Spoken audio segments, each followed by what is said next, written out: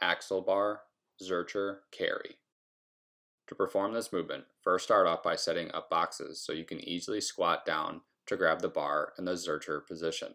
While maintaining the Zercher position with the bar resting at the elbows, walk over to the other side of the room or the program distance.